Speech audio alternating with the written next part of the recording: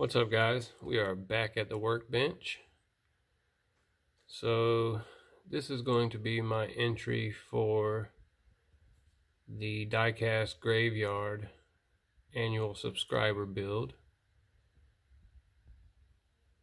He has issued a challenge to turn a American muscle car into either a gasser or a drag car. So I'm going to use this 73 Pontiac Firebird and turn it into a drag car.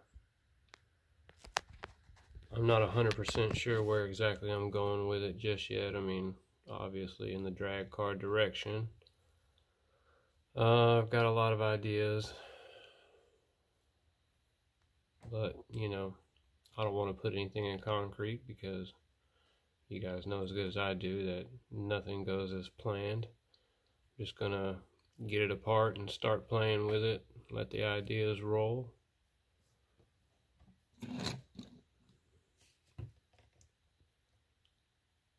The only thing I don't really like about it is the uh, blacked out windshield, and but not a big deal.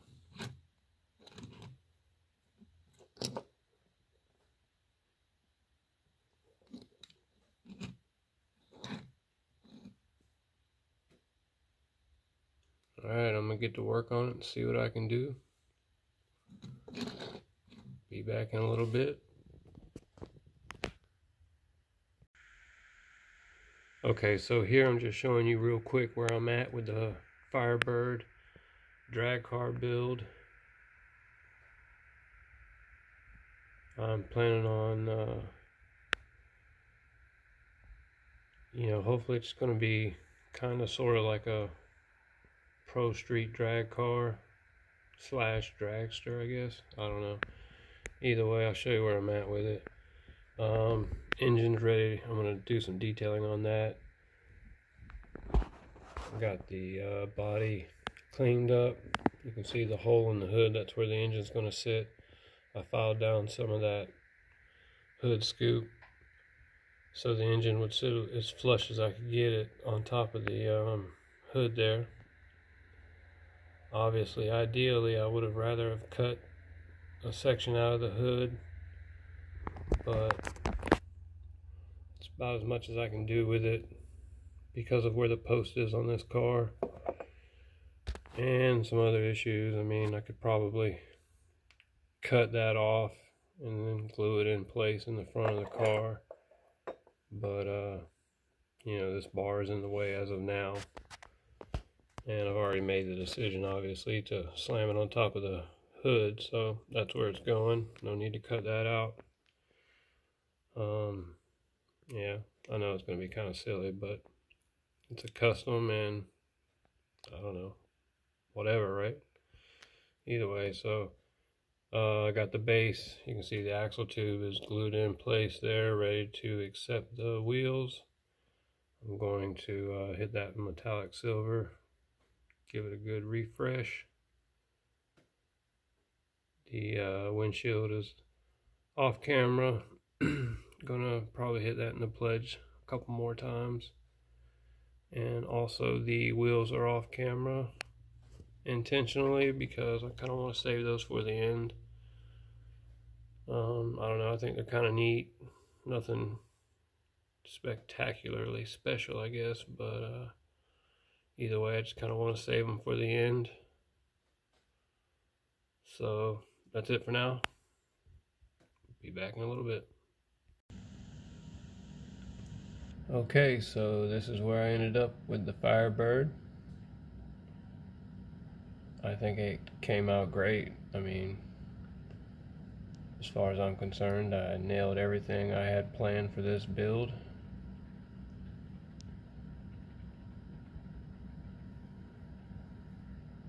For some crazy reason, everything on this build went just so smooth.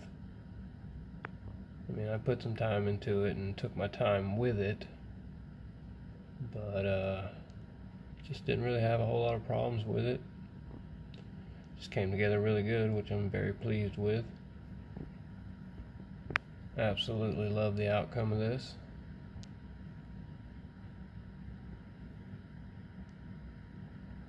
My American Muscle drag car.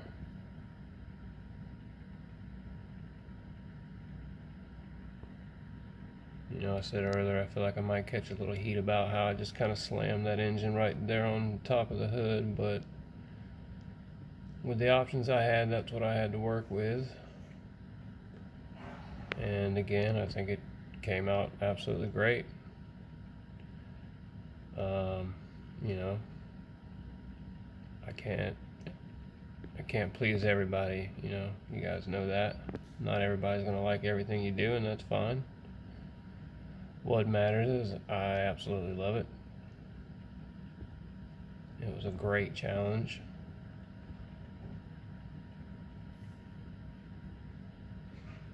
Big shout out to Diecast Graveyard for issuing the challenge, letting me be a part of it. I appreciate it. I enjoyed it. This definitely tested my abilities and uh, challenged me a little bit. But that's what it's all about you know, practice, learn, improve, get better.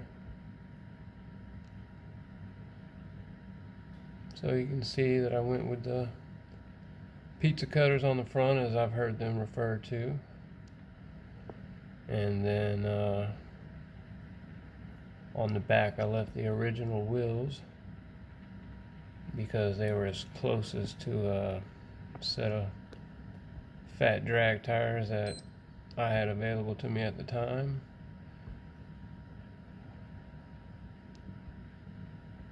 And then as you can see here on those those back wheels, did something kind of unique with them to give them that, uh, I don't know guys would, would call that, but uh, I don't know, some kind of dish appearance or whatever, but I mean, you can see what I'm talking about, obviously. But uh, so what that is is basically a uh, you know a thumbtack, a push pin that I snapped, you know, cut the end of it off, and then just filed it down a little smooth right there, and then uh, glued them onto the tire. I think it gave it a really cool appearance. Just kind of happened to uh, stumble upon that idea as I was in the middle of this build, and that's where they ended up. Uh, might plan on using that same method uh, for some other builds, but actually turning the the thumbtack over and gluing it so that you get the bubble dish side of it, if you will, on the outside.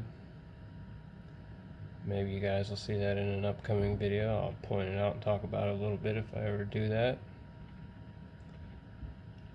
Uh, as usual, I got my channel decal on there. Front um, parking lights, headlights detailed. Got my name over the driver's side door. And on the back there, I've got the bumper chromed out, and you can see that wheelie bar back there. I don't think he watches my channel, but uh, I picked that wheelie bar.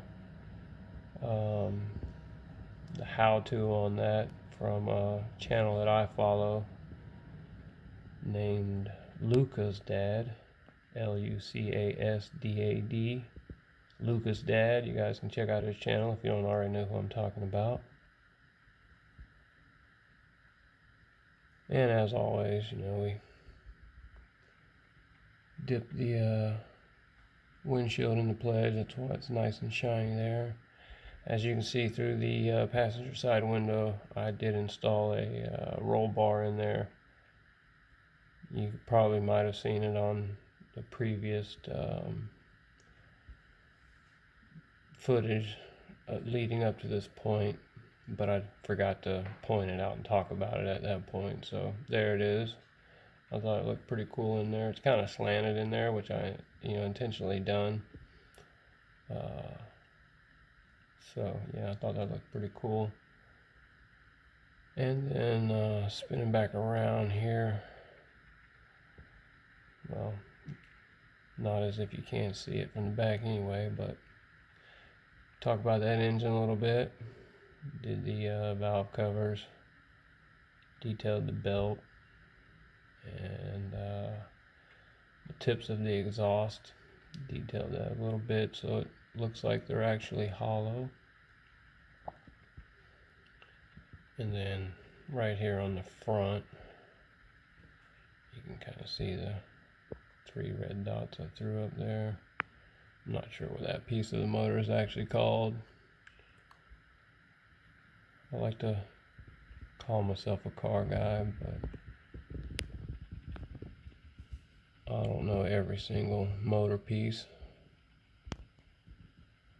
I know the basics and you know I can name them and point them out for the most part but either way whatever now I'm just rambling on so anyway guys the video's gotten long and I'm gonna finish it up. Hope you guys enjoyed the build. Appreciate you watching. I'll catch you on the next one. Peace